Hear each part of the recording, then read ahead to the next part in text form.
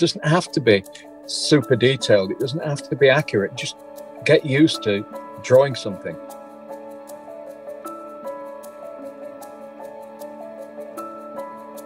Gain confidence with using dark values to add drama, shadow, and shade to your moody skies.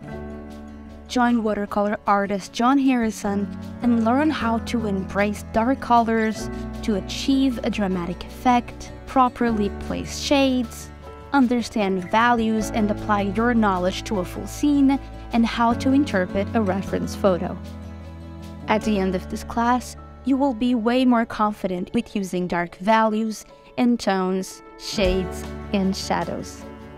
This class is for beginner to intermediate artists who are well acquainted with the medium and the supplies.